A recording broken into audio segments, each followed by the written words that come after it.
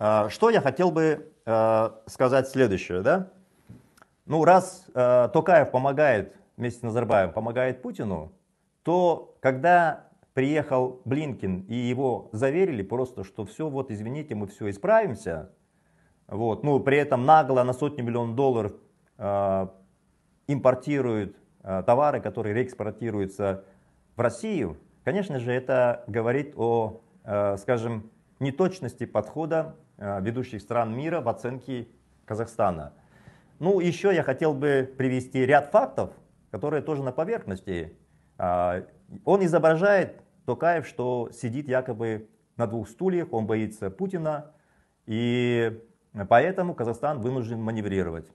Но обратите внимание, вот сегодня, например, министр финансов, вице-премьер, выступая э, в Сенате, где э, Сенат утверждал протокол э, о свободных экономических зонах, о налогообложении. Свободные экономические зоны были, это Калининградская область, а, которая находится, проезд через Литву, Магадан и, внимание, Крым.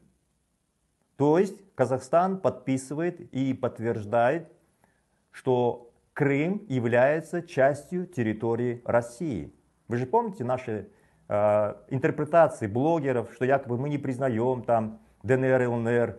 По Крыму четко уже подписан протокол, то есть Казахстан юридически признал Крым частью территории России. И попытка этого министра и вице-премьера что-то промямлить, что это просто э, свободные экономические зоны, и он вообще ничего не говорил, что Крым является частью территории, это выглядит очень смешно и глупо, потому что прямо Сенат утвердил взаимоотношения Казахстана с свободными экономическими зонами Российской Федерации, в частности с Крымом. Видите, вот как все это по действиям легко отслеживать реальность и не говорить, что мы типа Казахстан не признаем, что Крым является частью России. Нет, это все не так.